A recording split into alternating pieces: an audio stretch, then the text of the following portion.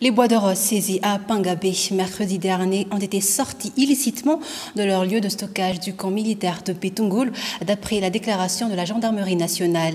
Ils seraient destinés à l'exportation, mais ont été d'abord transités à Pangabé avant d'être envoyés vers leur destination. Les enquêtes sur les bois de rose saisis à Pangabé seront bouclées d'ici à lundi, d'après toujours la gendarmerie nationale. Mamtin la saisie de bois de rose en Pangabé cette semaine a été le premier cas d'exploitation illicite enregistré dans la capitale, d'après la gendarmerie nationale.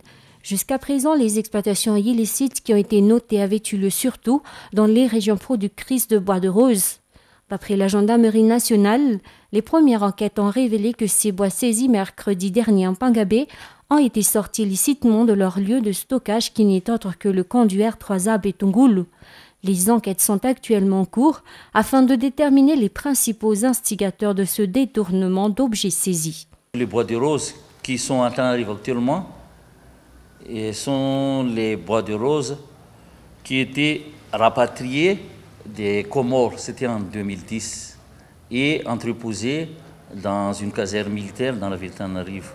Il y a 82 qui ont été euh, détournés et avec la collaboration de la population d'Ambouchmanzak, ces bois de rose euh, ont été décelés dans un endroit pour être euh, pour, pour, pour, transiter, pour être exportés quelque part.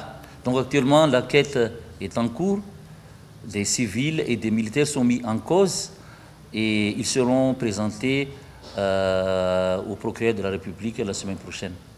D'après toujours la gendarmerie, une réunion entre l'OMC national s'est tenue la semaine dernière pour pallier l'exploitation illicite de bois de rose. Plus de 11 000 randins de bois de rose ont été saisis à travers l'île au cours de cette semaine.